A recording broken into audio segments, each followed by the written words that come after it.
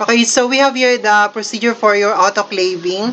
So the claving is one of the sterilization technique that would allow us to sterilize the materials that we use when we are culturing our bacteria.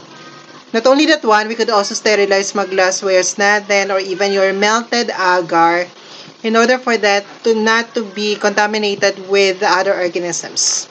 In order for us then to prevent the entry of your microorganisms which is not the one causing the infection from our clinical specimen.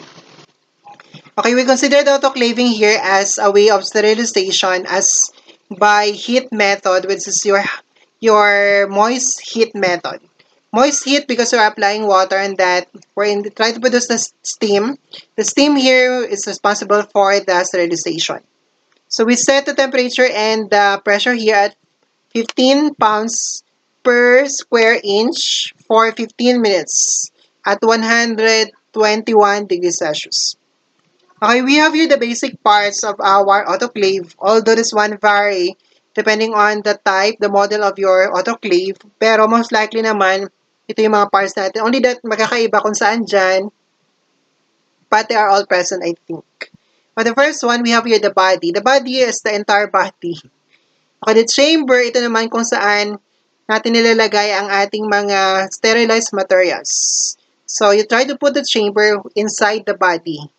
Okay, then the chamber, so sa autoclave natin sa Metec Simulation Lab, your chamber is para siyang box lang. It's a metal box where you try to put on your materials to be sterilized.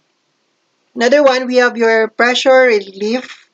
Okay, so pressure relief here regulates the pressure within our uh, chamber in order for that to be within the required na pressure. Air evacuation valve, on the other hand, is the valve na sini, ano natin, ino-open natin, kino-close.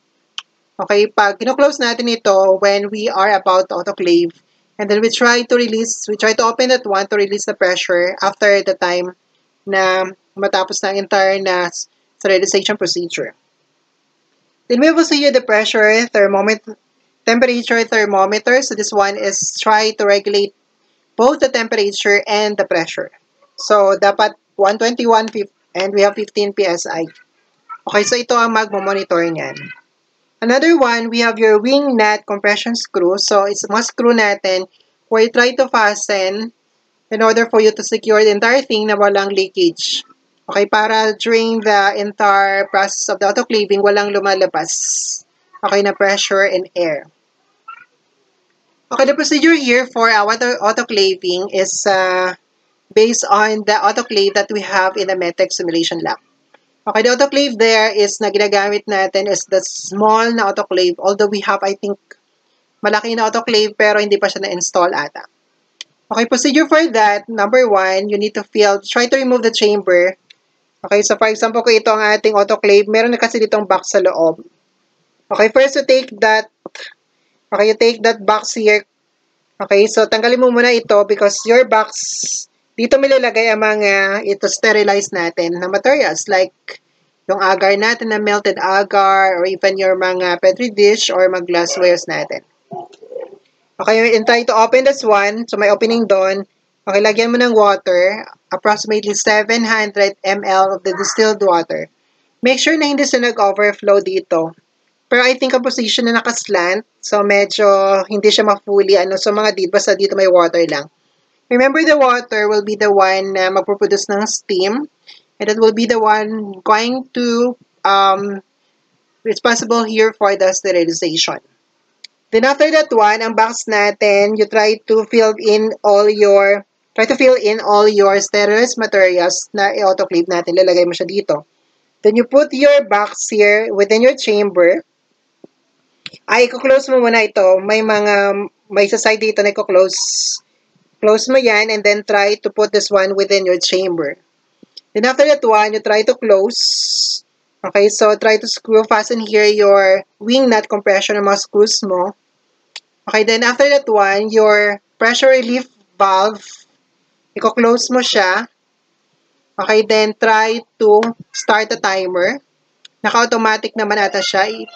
Pag na-start mo ng timer, ito also um, will allow here the pressure na akyat to 121 degree That's temperature 121 degrees Celsius for 15 uh, pounds PSI.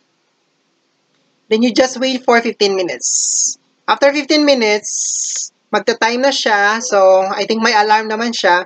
All you need to do is yung screw natin, i-release mo siya, which is your pressure relief your air evacuation valve.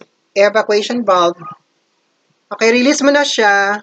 And then the pressure is, ang pressure dito lalabas. Okay, then wait until na maubos ang pressure within your chamber before you open. Never ever open the chamber pag hindi mo pa siya na-release ang pressure. Sasabog ang, sasabog siya. Okay, release the pressure. And after the pressure has been released, you can now open and then try to take your sterilized materials. So, very easy lang ang ating autoclaving procedure. Okay, so thank you.